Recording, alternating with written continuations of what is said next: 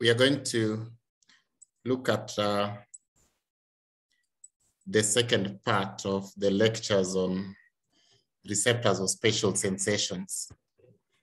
We've seen the first part, we've looked at olfactory and uh, taste sensations. In this second part, we are going to focus on auditory and vestibular sensations. But of course, that means that we are going to look at the ear itself. So our key objective is to describe the anatomy of the ear. So we'll describe the anatomy of the outer ear, middle ear, and inner ear.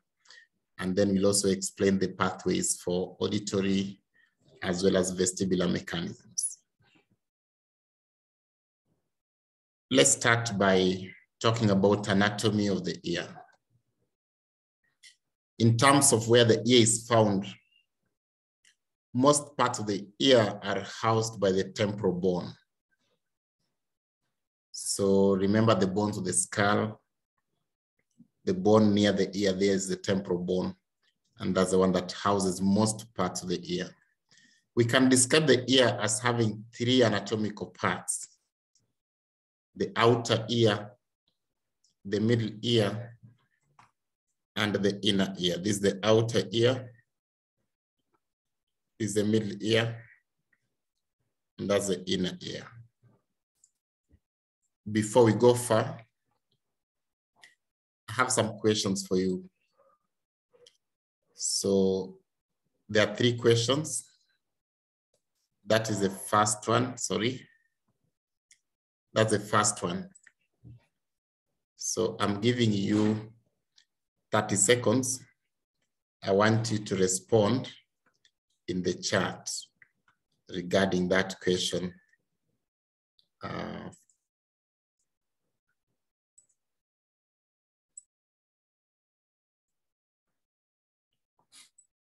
okay, most of you have replied to that.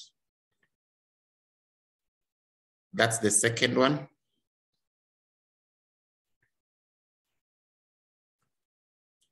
So I'm calling that question two. Again, feel free to respond in the chat. You have 30 seconds.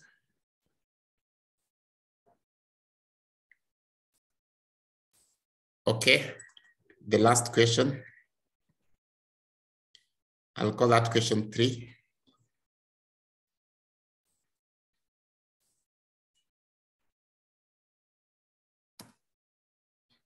Again, feel free to respond to question three.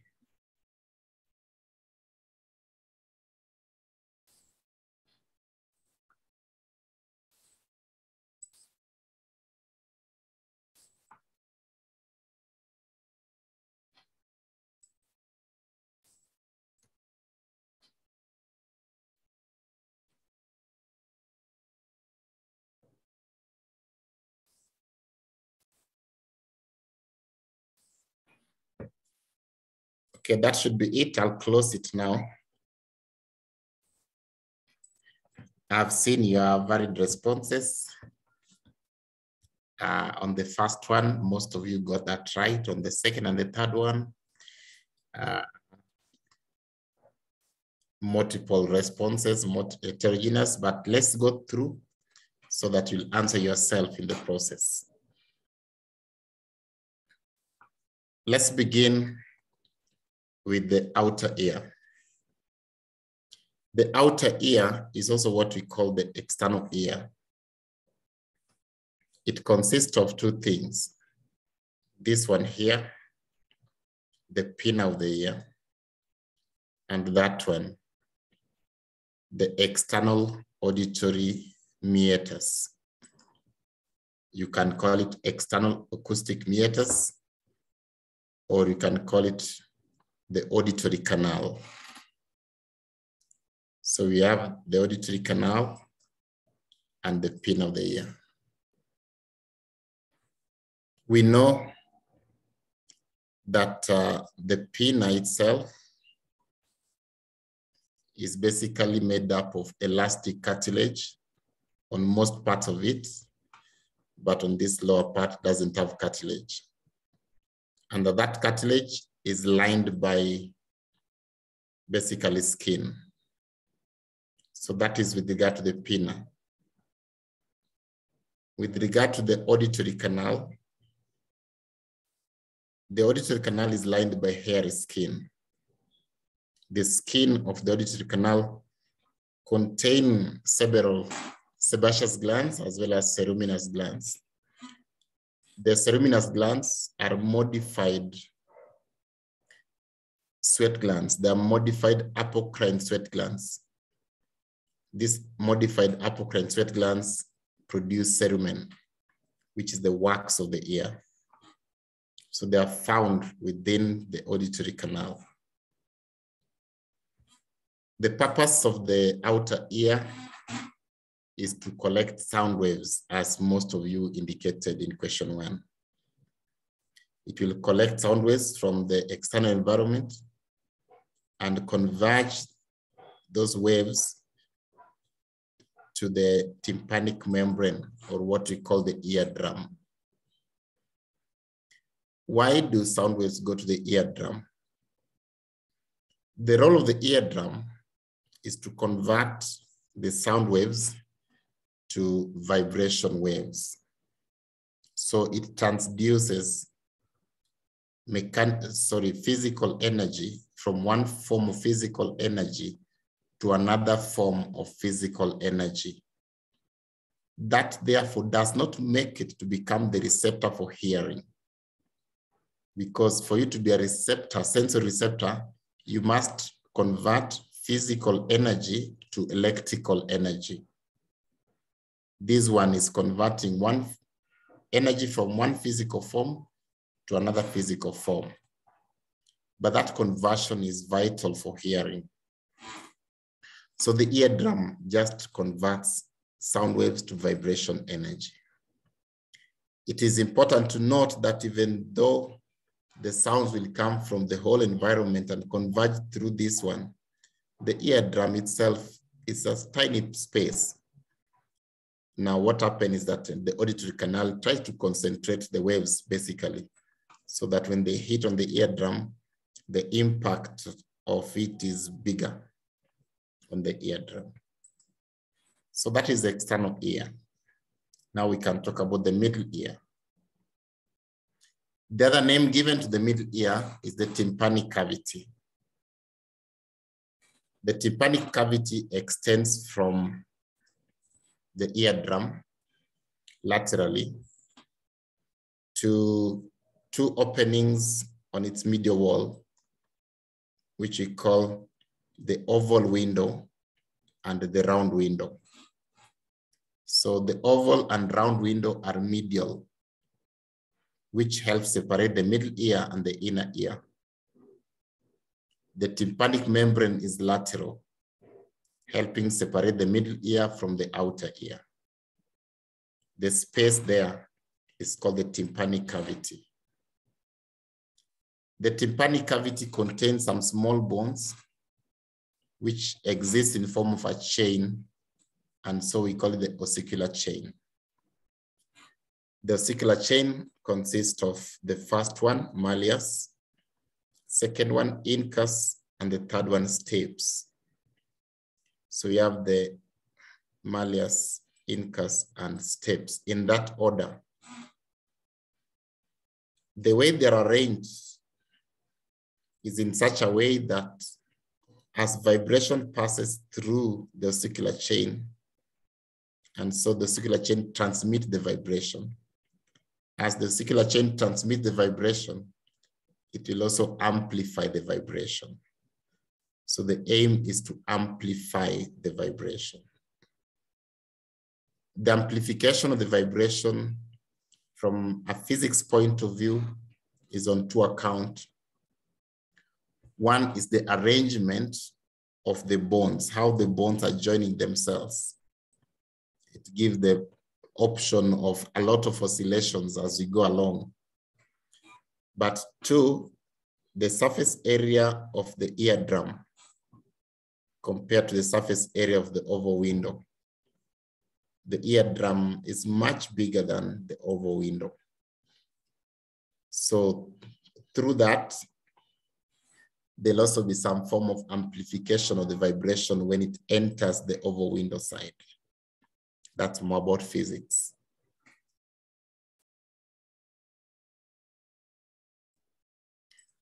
Okay.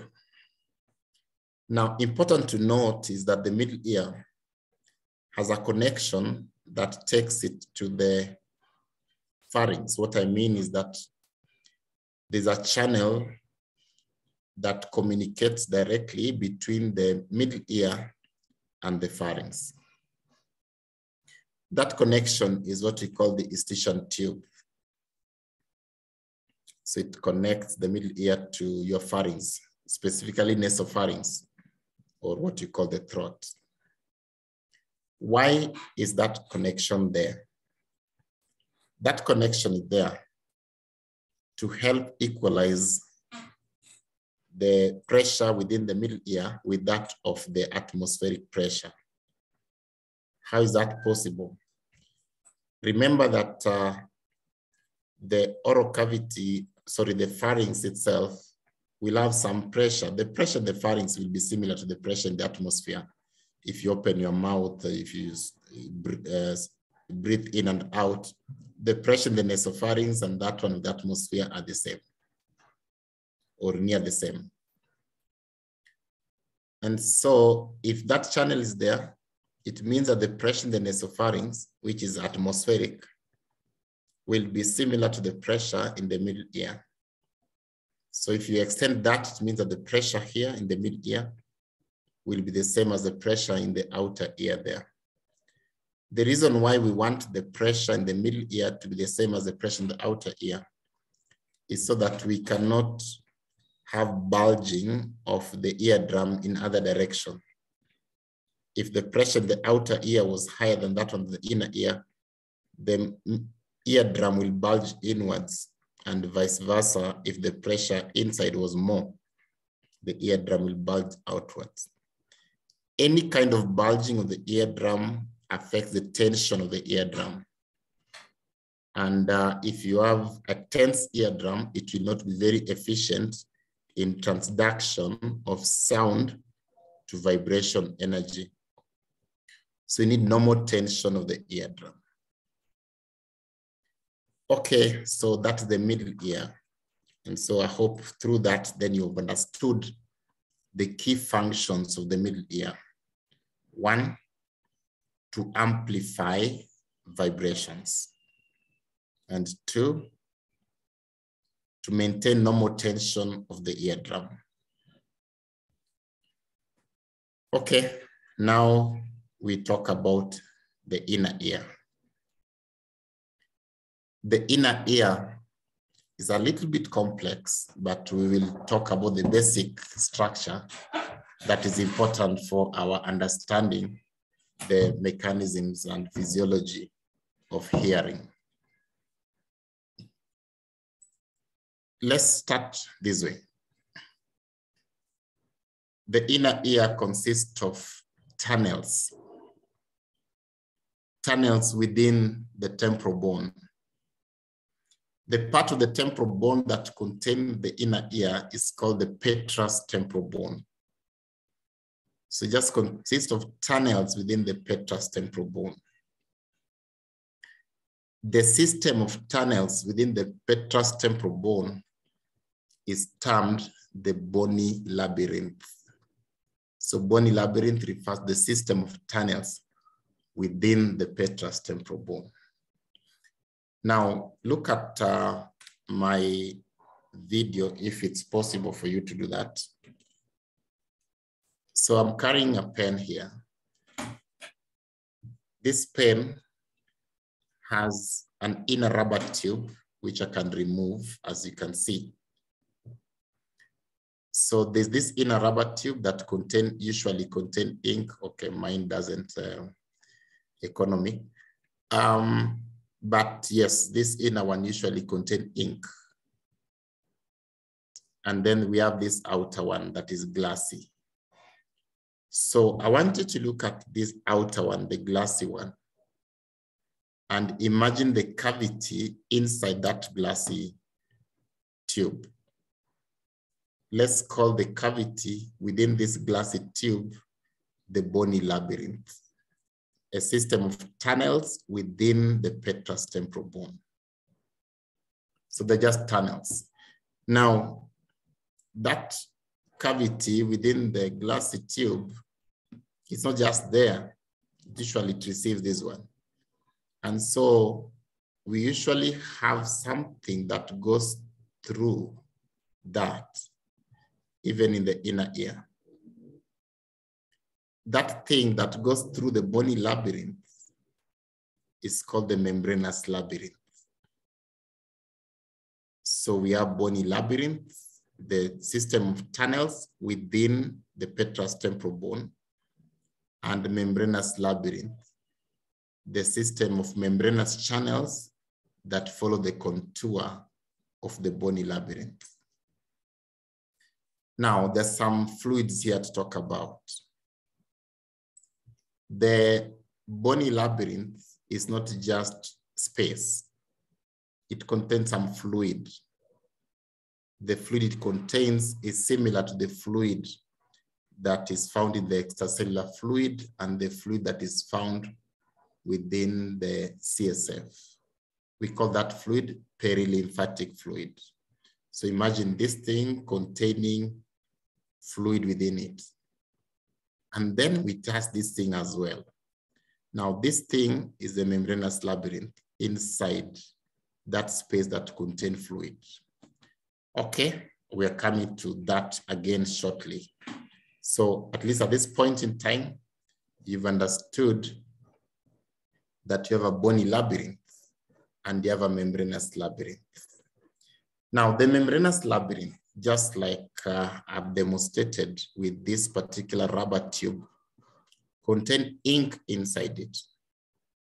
The fluid within the membranous labyrinth is not perilymphatic fluid the fluid within the membranous labyrinth is similar to the fluid that we find in the intercellular space, at least similar, the, the, the concentration of potassium and sodium are almost similar. That fluid is called the endolymphatic fluid. So I want you to imagine the ink within this rubber tube being the endolymphatic fluid enclosed by the rubber tube then insert it within this larger tube that already was having water. So the water of this glassy tube will be inside the glassy tube, but outside the, the rubber tube, if, if I was to put it in simple terms. That's the arrangement of the inner ear so that you understand what is bony labyrinth and what is membranous labyrinth. Now let's start with the bony labyrinth. What are the components of bony labyrinth? I've told you it's a system of tunnels. The bony labyrinth consists of three components. We have the one I'm pointing right now, which we call the vestibule. From the vestibule, you have a system of channels that uh, one is coiling on itself like that of the shell of a snail, making about three and a half turns, which we call the cochlea. So this is the cochlea. And then we have these other ones. There are three semicircular tunnels that are connected again to the vestibule. We call them semicircular canals. There are three of them. So we call them the semicircular canals. We have semicircular canals, we have the vestibule, and we have the cochlea. They are all interconnected. The lumen, the common, they have a common continuous lumen. Within that system of bony labyrinth is the presence of the membranous labyrinth that contain endolymphatic fluid, as I've said. So what are the components of the membranous labyrinth then? we have what we call the utricle and the saccule. The utricle and the saccule are parts of the membranous labyrinth that are contained within the vestibule. So those are contained within the vestibule. Then apart from that, we also have the cochlear duct. The cochlear duct refers to the membranous labyrinth that is contained within the cochlea. So the membranous labyrinth that is found within the cochlea is known as the cochlear duct. It follows the contour of the cochlea. If we trace the fluid within the cochlear duct, that endolymphatic fluid within the cochlear duct, we note that that fluid is continuous, the fluid of the saccule. So we can say that the saccule is a reservoir for the fluid of the cochlear duct. Similarly, the component of membranous labyrinth that is found within the semicircular canals are known as the semicircular ducts. So these are the semicircular ducts. They follow the contour of the semicircular canals. And I told you that we have three semicircular canals, and therefore we have three semicircular ducts. We have one that is in front, one lateral, and one posterior. They run in different orientations. They are oriented at about 90 degrees away from one another. They are orthogonal planes, 90 degrees in orthogonal planes. The aim of that is to ensure that uh, they're able to detect motion in all the three planes of the head, coronal, sagittal, and uh, horizontal. So here,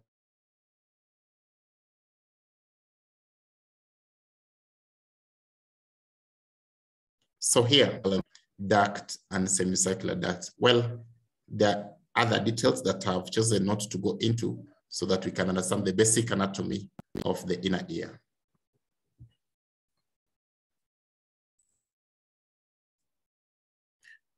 Okay, I've noted that uh, the, the, the, my internet tipped a bit, so let me say that again in summary.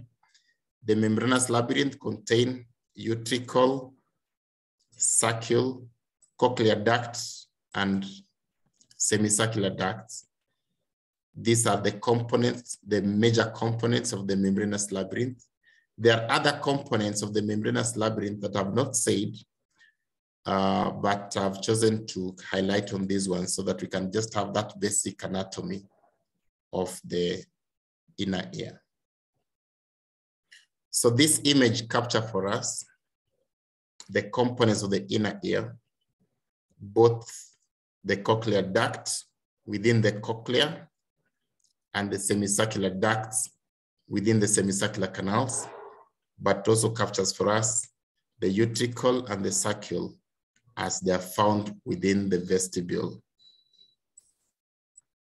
I want you to note, and perhaps if you use this other one, the semicircular ducts and canal, that the duct is actually smaller than the canal. That should make sense to you by now and that the fluid within the duct is endolymphatic fluid, but the fluid outside the duct within the canal is perilymphatic fluid.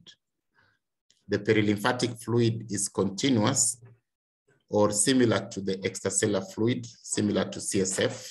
Endolymphatic fluid is different from CSF. If you take a cross section through the cochlea, what are we going to find? If you take a cross section through the cochlea, we are going to find something that has three cavities. Why are these three cavities? Understand it this way. So this outer one here is the bone. And so the whole of this is the cochlea itself. But remember the cochlea contain the cochlear duct. This middle one here is a cochlear duct. It runs within the cochlea. So with the presence of the cochlear duct and perhaps you attached two ends of the cochlear duct to the wall, we will note that the cochlea itself as a whole has three major cavities. So this one here contains the fluid of the cochlear duct, that is endolymphatic fluid, but the other two contain the fluid of the perilymph. Basically the fluid that is within the cochlea, but out of the cochlear duct. So in cross section, this is how we usually demonstrate the anatomy of the cochlea. We have two, we have three cavities. We call them the scala, scala vestibuli on the upper part, scala media, and scala tympani on the lower part. The scala media is the one that contain the fluid of the cochlear duct. Now within the cochlear duct, we have a delicate structure there that function as the receptor for hearing. That delicate structure is what we call the spiral organ of Corti. So the spiral organ of Corti is a delicate structure found within the cochlear duct and is the one that function as receptor for hearing. It has several cell types, but we can just call them the hair cells, which are the receptor cells. And the rest, the rest we can call them the supporting cells. There are really many types of supporting cells. For the hair cells, that those which are on the inside and those which are on the outside, but let's not go into that detail, just call them hair cells. They detect vibrations. And then you have supporting cells, the cells which support them. There are several del delicate membranes within here. As you can see, the membrane separating scala vestibuli and scala media is called the vestibular membrane. The membrane separating the scala media and scala tympani is called the basilar membrane. The membrane that holds the stereocilia of the hair cells is called the tectorial membrane perhaps the, that's the most delicate of them all. I want to note that uh, the spiral organ of Corti receive a nerve that enters it, and the cell bodies of that nerve is somewhere there next to it. This nerve there are basically the cochlear nerve, and these are the cell bodies of the cochlear nerve. They constitute what we call the spiral ganglion. The spiral ganglion contains cell bodies of the cochlear nerve. So with that understanding, in summary, the inner ear contain the cochlear duct, which has the receptor for hearing. That receptor for hearing is what we call the spiral organ of Corti. Now we can talk about the mechanism of hearing. So sound will be in the atmosphere in form of waves that those waves will be transmitted, collected by the outer ear and directed to the eardrum. The purpose of the eardrum is to convert the sound waves to vibration energy. So there'll be vibrations here. As vibration occur, through the ossicular chain, we will have amplification. So the vibrations in the eardrum is transmitted to the through the ossicular chain. And I told you there are two mechanisms of amplification here. One is the arrangement of the ossicular chain. It makes them have a lot of oscillations as uh, we go away from the eardrum. But apart from that, also based on the ratio of the eardrum and the oval window. There's a lot of amplification of vibration taking place. Okay, once amplification has occurred through the ossicular chain, the vibration is taken through the oval window and that is directed to the perilymphatic fluid. So the perilymphatic fluid, the vibration is within the perilymphatic fluid. The vibration usually transmit in that manner, that way, in that order, in that direction. So starting from the oval window, go through the scala vestibuli, then scala tympani, back to the round window. This is the scala vestibuli. And then this is the scala tympani all the way to the round window. All right, as vibration follow that channel through the perilymph within scala vestibuli and then scala tympani. As vibration go through there, those vibrations are transmitted to the cochlear duct as well. And so it will be received by the endolymph of the cochlear duct. The vibrations within the cochlear duct will be detected by the tectorial membrane. Remember, this is the one that anchor. This is the one that anchor the hair cells which detect hearing. So the vibrations on the tectorial membrane are therefore detected by the hair cells of the spiral organ of Corti.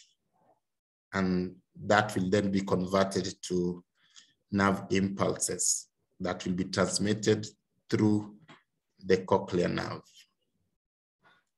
Perhaps you're asking yourself, so what's the role of the round window? At least the oval window is the entry of the vibration physics tells us that uh, fluid cannot be compressed. You cannot compress fluid. So if this happens so that you have vibration there, that impact will be there. And so the role of the round window is to basically dampen that particular vibration. Otherwise, it cannot be possible to, to, to, to cause vibration at the oval at the oval window if there was no exit damping points because you cannot compress fluid. Great. So that is the mechanism of hearing. Now we can talk about the auditory relay pathway, the neuronal channels that take information from the spiral organ of Corti all the way to the ear. So once hearing vibration has been detected by the hair cells of the spiral organ of Corti. The impulses will be carried through the cochlear nerve. Remember, the cochlear nerve is part of the vestibulocochlear nerve, the cranial nerve number eight. The cell bodies of the cochlear nerve constitute what you call the spiral ganglion located just within the middle ear, the inner ear as well. The central processes of the cochlear nerve fibers go all the way to the brainstem, usually at the junction between the pons and the medulla. The synapse within the brainstem in a region we call the cochlear nucleus. So the cochlear nucleus contains cell bodies of the second order neurons, which are in the pathway of hearing. From the cochlear nucleus, the second order neurons will decussate. Now they form a complex decussation at the level of the brainstem really, which makes it be given a very special name. The name given to the decussation is very special. We call the trapezoid body, but you don't go into that one just understand that this decussation, but a complex form of decussation between the right and the left cochlear nuclei. Now, the information that leaves the cochlear nucleus after the decussation should be headed to the thalamus. And indeed, there are those fibers which go all the way to the thalamus. The region of the thalamus that receive the second order neurons for hearing has a specific name we call the medial geniculate body of the thalamus, medial geniculate body of the thalamus. However, many fibers which come from the cochlear nucleus as second order neurons do not really reach the thalamus first. They relay somewhere. They relay within the inferior colliculus of the midbrain. The midbrain has what we call the inferior colliculus, where those fibers, most of the second order neuron fibers relay there.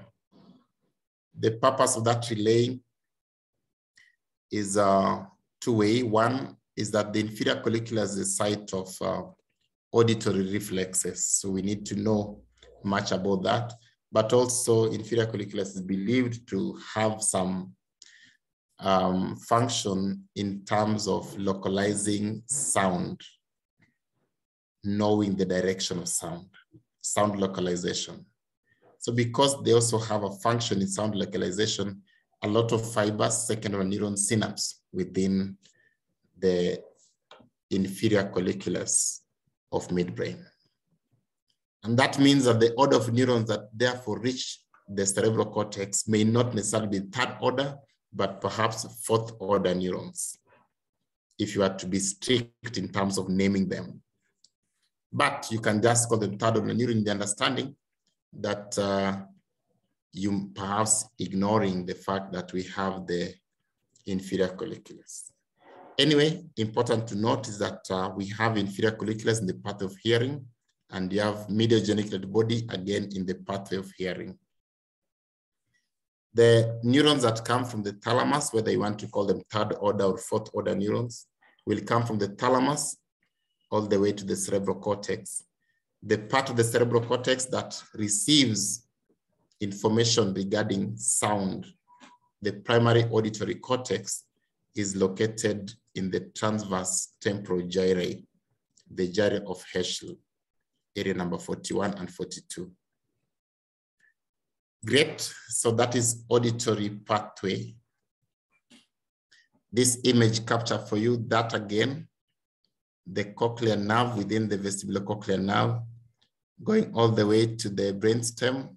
There's some synapsing and uh, decussation, which we call the trapezoid body. Then we have projection aided to the thalamus, but there's some relay at the midbrain, inferior collicula of midbrain.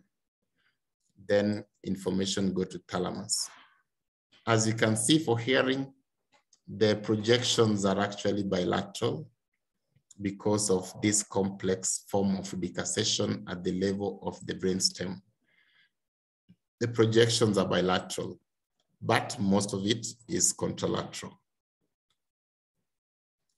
That is with regard to hearing. Let's now talk about equilibrium pathway as well. Equilibrium information is detected by the equilibrium receptors. The equilibrium receptors are collectively called vestibular apparatus of the ear. These vestibular apparatus of the ear are sensitive to position of the head. The components of the vestibular apparatus are these one. We have the utricle.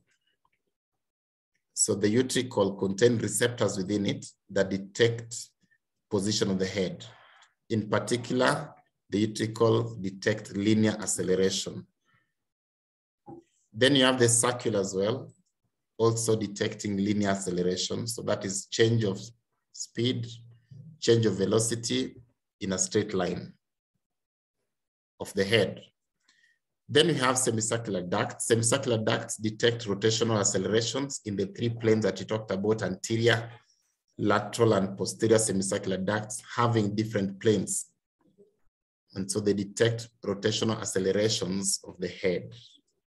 When you turn your head things like that to be detected by semicircular ducts.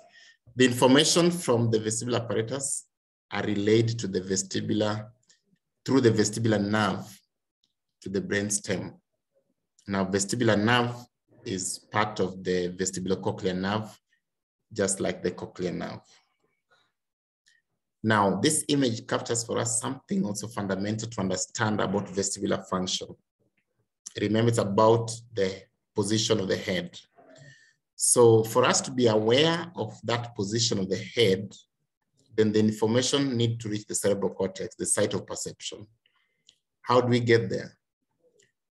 From the vestibular apparatus of the ear, the first order neurons carried within the vestibular nerve terminate within the brain stem. We have what we call the vestibular nuclei within the brain stem.